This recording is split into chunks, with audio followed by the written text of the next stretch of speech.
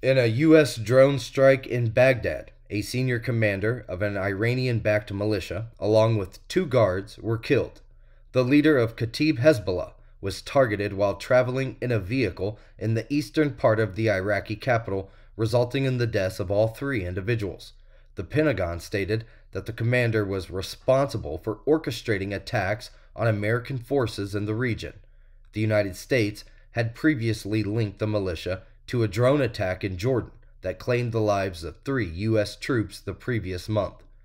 In response to that incident, Kataib Hezbollah had announced a suspension of attacks on American troops to avoid causing issues for the Iraqi government, BBC is reporting. The drone strike occurred on Wednesday night in Baghdad's Mashtal neighborhood, causing several loud explosions. The precise strike targeted a moving vehicle on a busy street, leaving the car in flames. One of the identified victims is Abu Bakir al Saidi, a senior commander in Kataib Hezbollah.